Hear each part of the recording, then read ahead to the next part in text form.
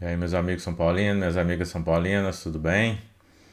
É, fazer um pré-jogo aí do, confronto Grêmio-São Paulo. É um jogo aí que promete ser quase uma guerra, né? Os dois times né, fugindo ainda, ainda do rebaixamento, né? O Grêmio ainda numa situação pior que o São Paulo, né? E é, o Grêmio está com, com grandes chances de cair, né? São Paulo que deu uma melhorada nos últimos jogos aí, mas ainda não ainda tem uma pequena possibilidade, né?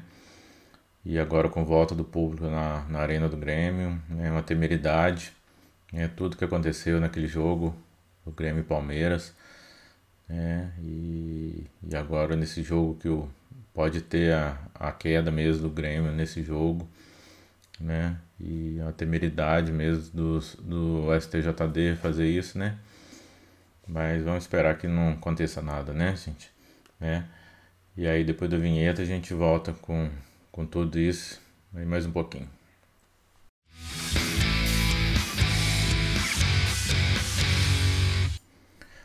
É como eu disse na introdução, né? Um jogo, um jogo muito difícil, né? Um jogo que o Grêmio deve partir para cima mesmo, que só a vitória interessa pro Grêmio, né? O Grêmio não tem, não tem muitas chances mais no campeonato não. É, porque se perder, se perder, a chance, a chance é, é, é, remota de, de continuar, né? Porque aí já não depende mais da, só da, das próprias forças né, do Grêmio. Então o Grêmio vai partir para cima mesmo, né? Esse é que eu, que eu espero mesmo, né?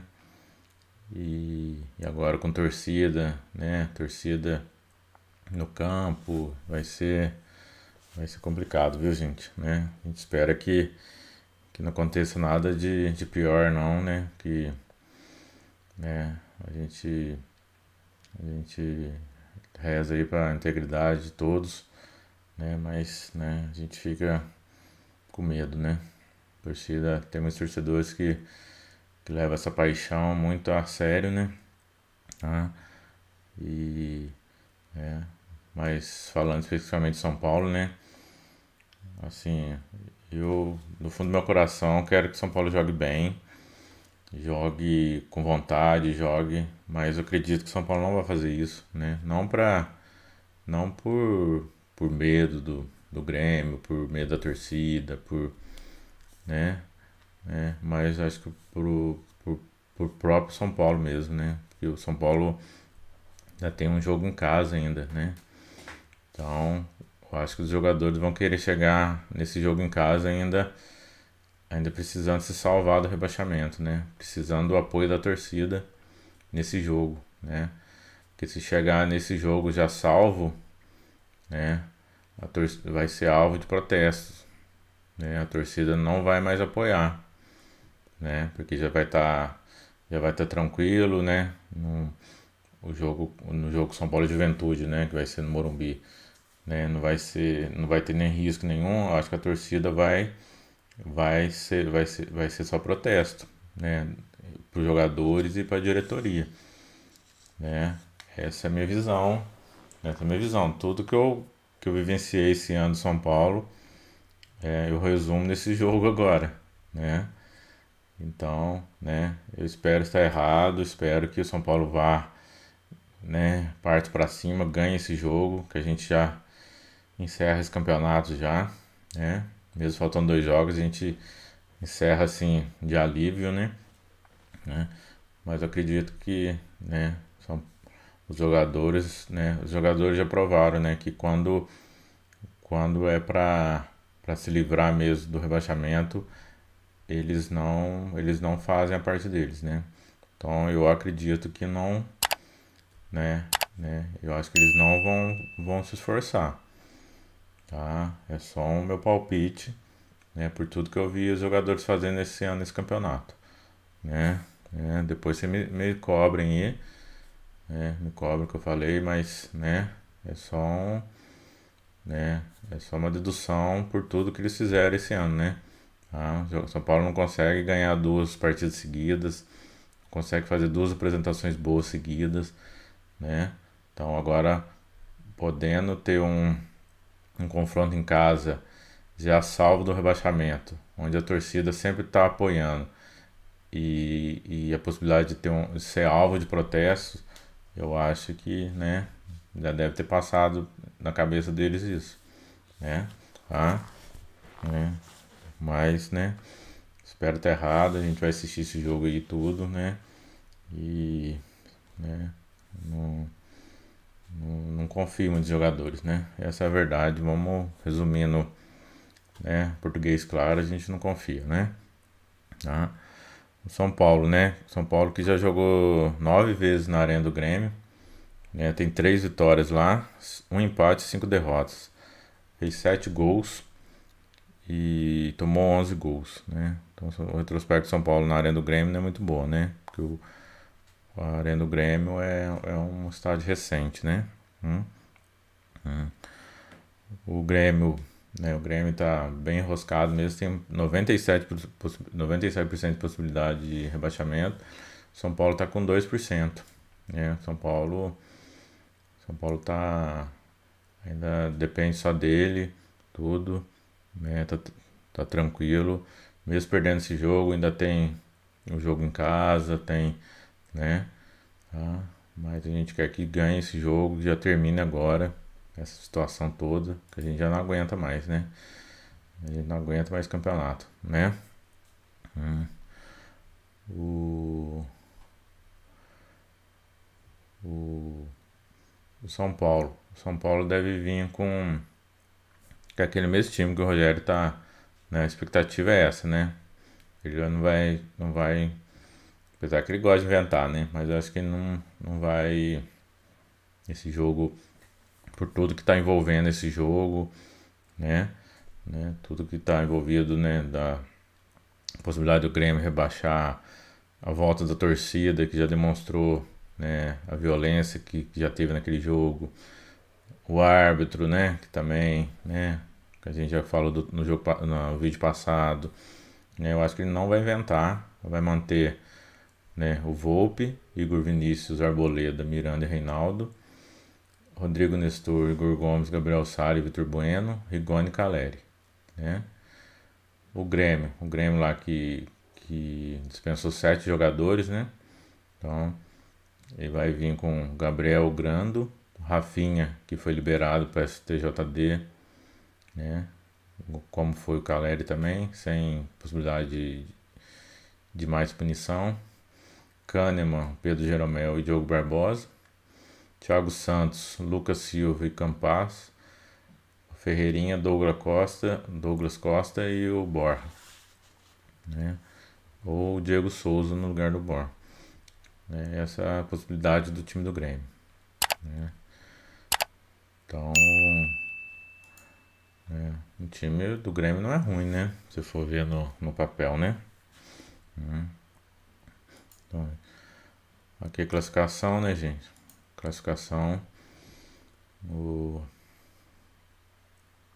São Paulo 45 pontos em 35 jogos. O Grêmio, ó, 36 pontos né, em 35 jogos. Se o Grêmio perde hoje, se o Grêmio perde hoje, ele ele só pode chegar a 42, né? Ele só pode chegar a 42 né? Então, ele tem mais dois jogos. E aí, se ele ganhar os, ele ganha, ele perde esse jogo, mas ele ganha os dois próximos, ele chega à pontuação do Atlético Paranaense, né? Mesmo o Atlético Paranaense perdendo o resto dos jogos. Só que o, o, o Grêmio não consegue né, o, né, o número de jogos, né?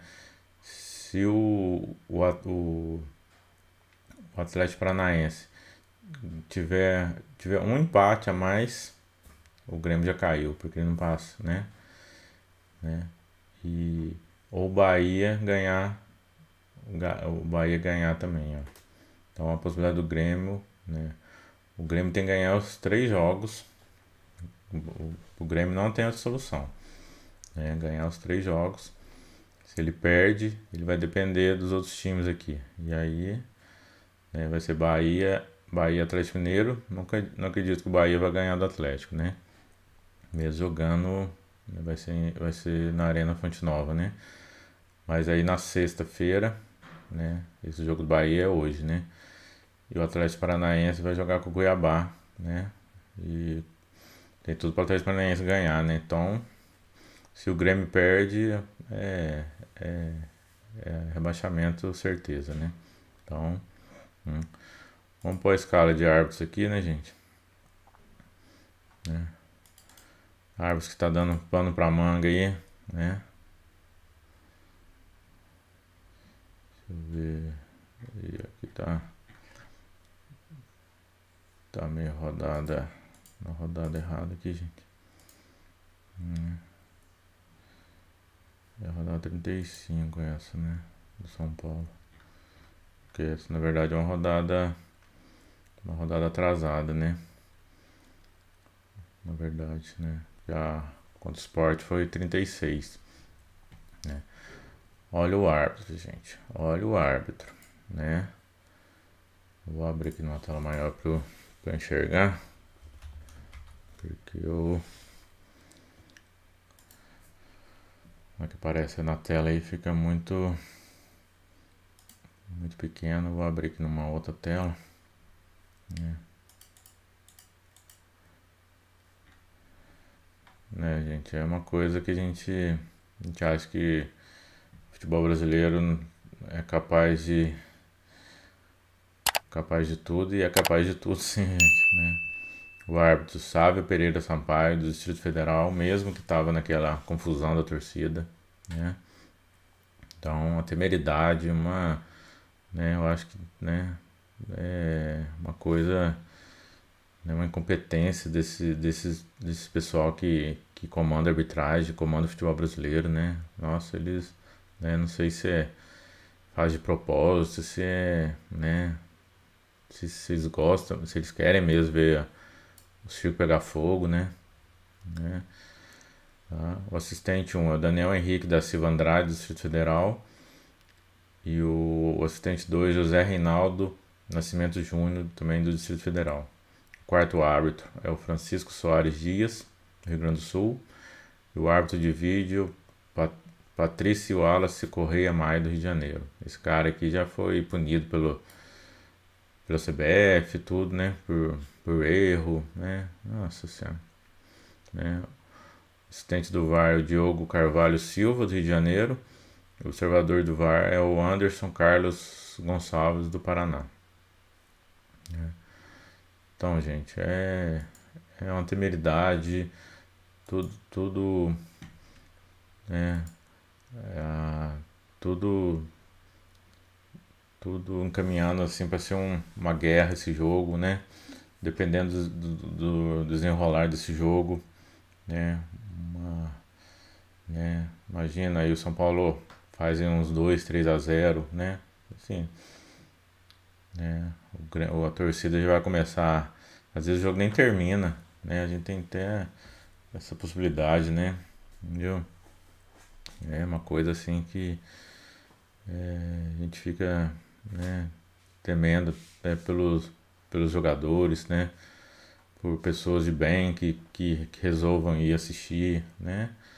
E, né? Mas CBF, né? Os árbitros, não, não é, parece que eles não estão, né? Esse pessoal que manda não tem, não tem discernimento, né? Para ver, né?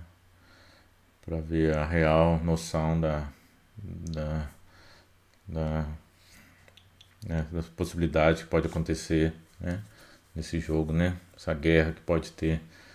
Né, mas vamos torcer, vamos rezar que nada aconteça, que, que, que transcorra tudo bem, né, que, né, que nada de ruim aconteça, né, gente.